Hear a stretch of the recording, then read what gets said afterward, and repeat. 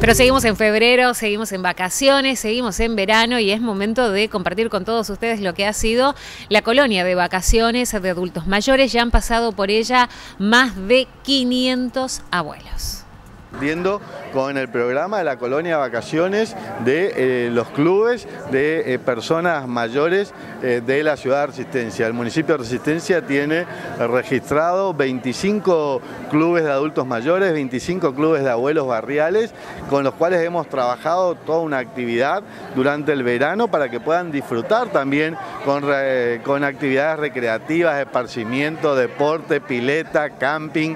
La verdad que muy lindo, más de 500 abuelos que pudieron participar de la colonia de vacaciones de personas mayores que llevamos adelante con los clubes em, de personas adultas mayores del municipio de la ciudad de Resistencia. Es muy importante, si vos tenés un club de jubilados, un club de abuelos, si vos tenés eh, un centro de jubilados y querés participar del programa de clubes de em, personas adultas mayores del municipio de Resistencia, que te inscribas en Bedia eh, eh, 15 arriba en la planta alta, podés acercarte y podés inscribir tu club de personas adultas mayores para la ciudad de Resistencia. Sí, efectivamente, allá por los principios de enero hemos firmado un convenio con el señor Intendente para que los adultos mayores puedan venir a disfrutar de lo que nosotros tenemos acá en el camping de Puerto Tirol.